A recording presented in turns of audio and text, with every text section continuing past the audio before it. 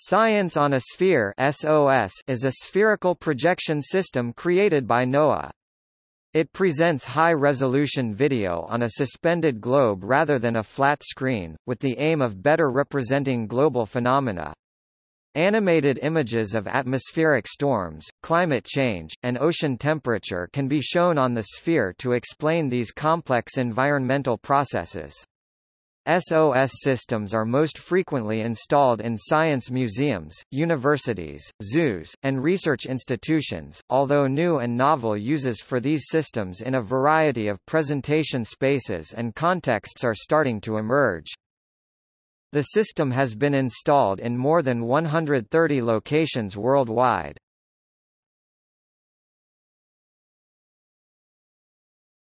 Topic: Configuration SOS uses many off-the-shelf hardware and software components combined into an innovative format. A spherical screen covered in ordinary latex paint hangs suspended in the center of a projection space. The screen is inert, it neither moves nor has any electronic parts. Surrounding the screen are four video projectors, positioned at 90-degree increments around the screen. Each projector is responsible for one quadrant of screen space. One CPU with two graphics cards one for the projector output and one for the user interface is used to control the system. The custom-written SOS software runs on Linux. SOS was invented by Alexander E. MacDonald, the former director of the National Oceanographic and Atmospheric Administration NOAA Earth System Research Laboratory in Boulder, Colorado, and or Deputy Assistant Administrator for the NOAA Research Laboratories and Cooperative Institutes. MacDonald devised the original idea for Science on a Sphere in 1995 as part of other data visualization work he oversaw in what was the former NOAA Forecast Systems Laboratory. A small but highly motivated and inventive team of NOAA staff led by chief designer David Himes wrote the SOS software and developed the SOS hardware and system architecture. This work enabled MacDonald's invention to move out from the laboratory and into performance spaces. A patent was awarded to NOAA for science on a sphere in August 2005, with MacDonald credited as the inventor. General system architecture and configuration specifications are as follows. Topic: The sphere The carbon fiber sphere is 68 inches (1.7 meters) in diameter. Other sphere sizes are possible, such as 48 and 60 inches. Larger sizes are possible too. The 68 inches sphere with a single seam at the equator weighs under 50 pounds 23 kilograms. The sphere is attached to the ceiling or suspension structure with a three-point suspension system to hold the sphere in place and reduce lateral movement. If the sphere moves, the images become unfocused. The cables are designed for strength yet small enough to blend into the background.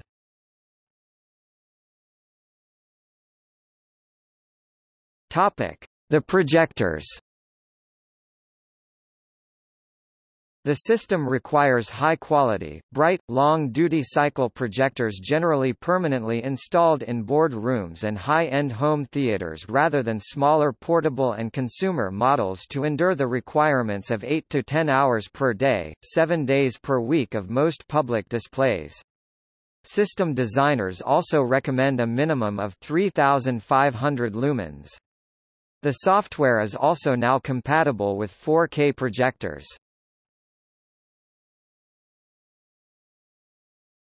Topic: The computer hardware. The computer hardware used for SOS is constantly evolving based on what is available on the market. The newest configuration uses one Ubuntu Linux computer with NVIDIA GTX graphics cards, and an iPad app to control the science on a sphere. Previous versions used five Red Hat Linux computers. Topic SOS data details The majority of SOS assets are so-called datasets. Originally conceived as a video system for showing space-based collections of Earth data, SOS has grown in its utility. The majority of data that traditionally appears on the SOS screens concerns the Earth, either from near real-time data acquisition systems, or from processed remote sensing platforms. But recent interest and growth in different kinds of media have started to broaden that library. There are currently over 500 datasets that can be shown on the sphere, including real-time infrared satellite images, Mars, real-time earthquakes, an ocean acidification model, and many more. The data format for SOS datasets is the equidistant cylindrical equatorial projection, also referred to as equirectangular projection, as shown by the map to the right. Textures, or single images, such as Mars or the Moon, are JPEG or PNG files that have a minimum resolution of 2048 by 1024 and a preferred resolution of 4096 by 2048.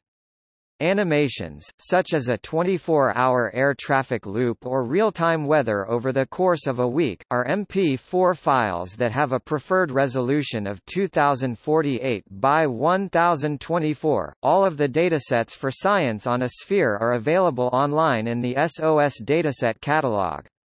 The datasets are divided into six main categories, land, water, air, space, snow and ice, people, and extras. The datasets come from many different organizations, including NOAA, NASA, NREL, universities, and science museums. Many of the sites that have SOS are creating new custom content for their site.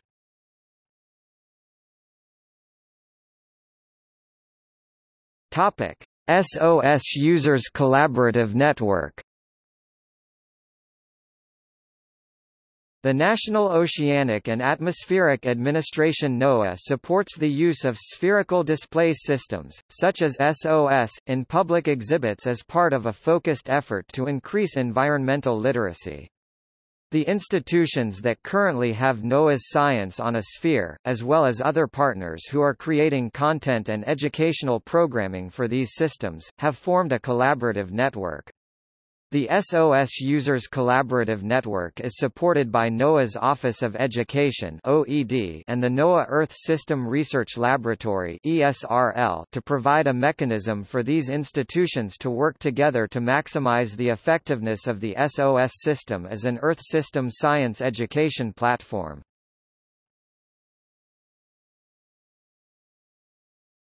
Topic: Network meetings and workshops.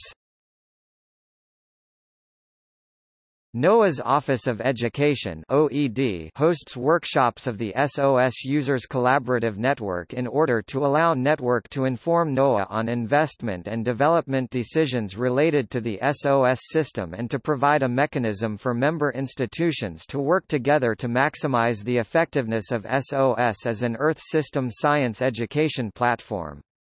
These workshops, which are typically 2.5 days in duration, provide a valuable opportunity for members of the network to meet in person to focus on key issues.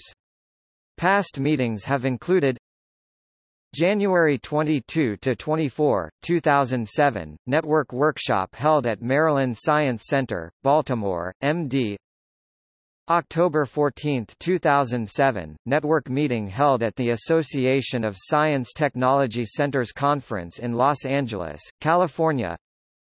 July 29 to 31, 2008, network workshop held at Bishop Museum, Honolulu, Hawaii and Imiloa Astronomy Center, Hilo, High October 20, 2008, network meeting held at the Association of Science Technology Centers Conference in Philadelphia, PA. November 17 to 19, 2009, network workshop held at NOAA Earth System Research Lab and Fiske Planetarium. May 3 to 5, 2011, network workshop held at the Museum of Science and Industry in Chicago, Ill. November 6 to 8, 2012, network workshop held at the Aquarium of the Pacific in Long Beach, CA. June 10 to 12, 2014, network workshop held at the Science Museum of Minnesota in St. Paul, MN.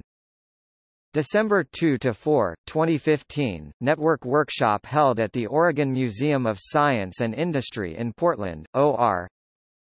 April 25 to 27, 2017, network workshop held at the Detroit Zoo in Detroit, Michigan.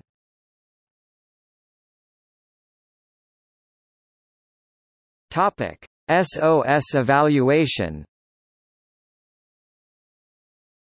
The Users Collaborative Network is currently involved in a program-wide evaluation of the effectiveness of exhibits featuring spherical display systems. Many of the SOS sites have conducted their own evaluation reports as well to better understand the educational impacts of science on a sphere.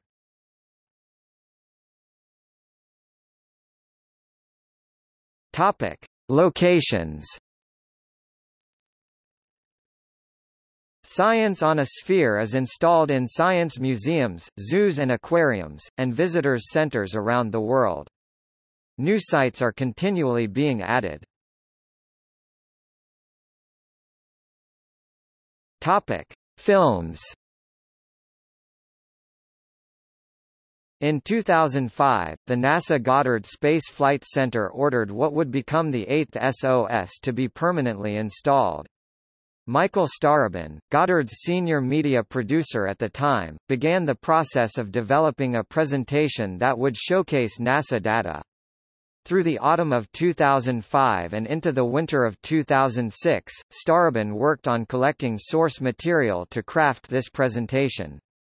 Faced with the challenge of producing a seamless product akin to traditional video programs, Starobin came up with the idea for presenting video content from source material that did not originate as inherently spherical data. The goal would be to blend one edge of a video or still photographic frame with the opposite edge in order to create a fully spherical image.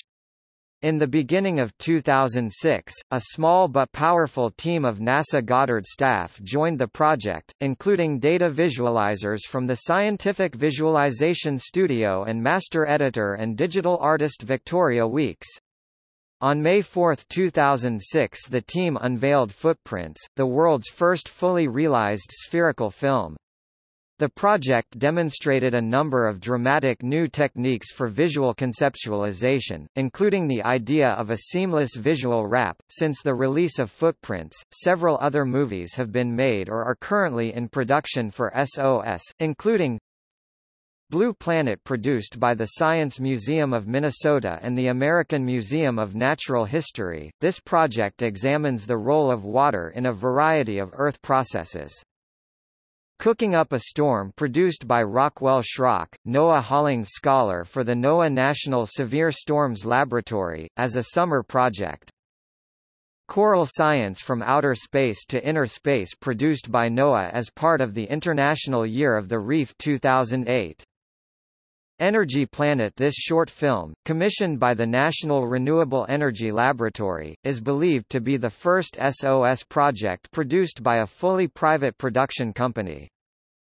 Energy Revolution NREL commissioned a sequel to Energy Planet, with a focus on five core technologies that can have significant positive influence on the nation's growing energy needs. It debuted at the 2009 UN Climate Change Conference in Copenhagen. Frozen working with the most advanced satellite data available from NASA, Frozen showcases those places on Earth where temperatures don't generally rise above water's freezing point. Largest Jupiter is not only the most massive planet in the Solar System, but it may be one of the most influential as well. In largest, NASA takes a close look at Jupiter, and considers its scientific and poetic place in the Solar System. Return to the Moon to commemorate the 40th anniversary of first moon landing and to celebrate NASA's newest vehicle to visit the Moon—the Lunar Reconnaissance Orbiter. The space agency commissioned this short film. Tsunami NOAA, in partnership with the National Tsunami Hazard Mitigation Program NTHMP, produced Tsunami, a new Science on a Sphere SOS presentation to commemorate the fifth anniversary of the devastating 2004 Indian Ocean tsunami. flow, currents and climate produced by the Science Museum of Minnesota. This piece looks at the role of oceans in the global climate. Forecast, tropical cyclone produced by the American Museum of Natural History. This dataset provides an overview of the history of forecasting tropical cyclones and insights into the future of forecasting. Loop. Everything in the universe seeks equilibrium. But equilibrium is elusive, with destabilizing forces always knocking things off kilter. In this NASA movie, data visualizations and dramatic imagery of the natural world present a science story about equilibrium in an inventive, conceptual way, and illustrate the propulsive essence of circulation in its many forms. Today there are over 80 narrated movies for SOS.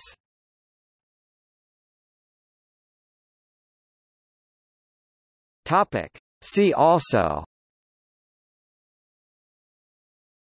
Virtual globe